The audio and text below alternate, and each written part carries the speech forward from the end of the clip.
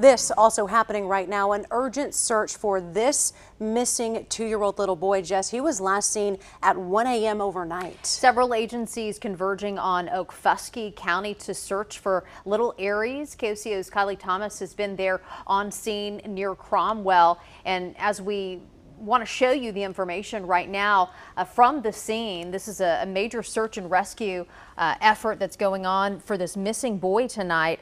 Uh, KOCO's Kylie Thomas has been giving us the very latest from that scene as she's been there for hours now. This little boy, his parents say, crawled into their bed around 1, 1.30 overnight, and authorities tell us when dad woke up, little Aries was gone. Authorities have a command post off of Highway 56 by the child's home, and authorities tell us they're exhausting every resource to find him. Search and rescue being done by um, air, by foot. They have teams on horseback, on four wheelers, water boats. They're using sonar and drones.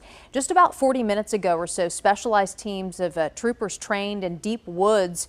They rescue. Uh, they arrived there on the scene, and officials say they're doing everything they can to find little Aries we're dealing with losing daylight uh, here pretty soon uh, in the next few hours. So each second, each moment is critical. Not a criminal investigation right now. We're looking for a child, and, and we want to make sure. You know, the last time he was seen, all evidence is that he was alive and well, and that's what we're looking for.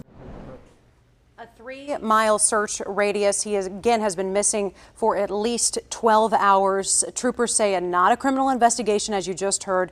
They are asking, though, the family and the community I know it's hard not to get involved in the search effort that's underway, but they say, of course, if you see something, immediately call 911. That little boy, Jess, was last seen in some black footy pajamas with green and orange dinosaurs. He's just a little guy, two years old, about 35 pounds, has sandy brown blonde hair, and we are certainly certainly hoping for the best there out of Okfuskee County. We know that they are working very hard to find him and find answers.